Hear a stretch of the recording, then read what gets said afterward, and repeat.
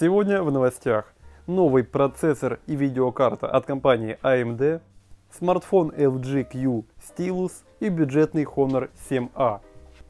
Ну и всем привет, с вами как обычно Макс и перейдем к IT новостям за 6 июня. Компания AMD представили видеокарту AMD Vega 56. На презентации компания показала AMD Vega 56 Nano от компании PowerColor.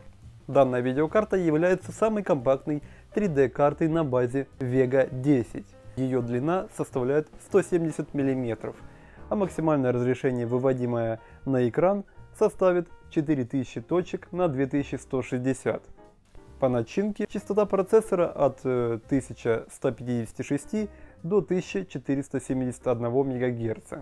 А также в видеокарте имеется 3584 потоковых процессоров и 8 ГБ памяти. Кроме этого присутствует 3 разъема DisplayPort и 1 HDMI. Рекомендованная стоимость данной видеокарты 450 долларов, а дата выхода пока что неизвестна.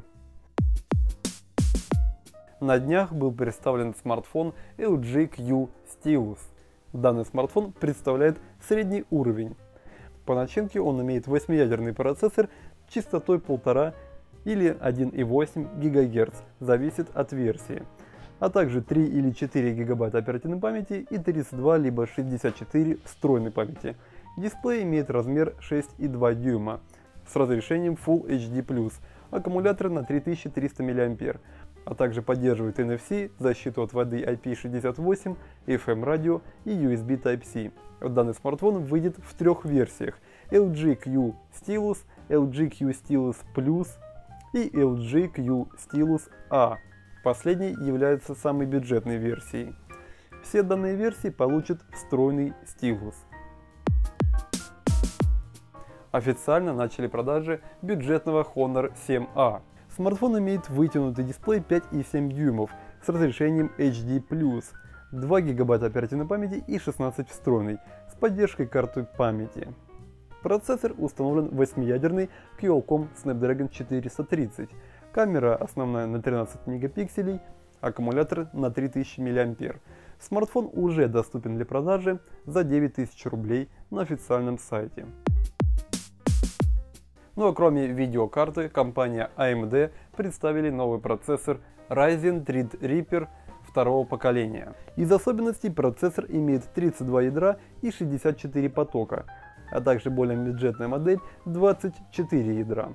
Пока что представили всего два процессора. В основе данных чипсетов лежат 4 12-нанометровых кристалла Zipelin.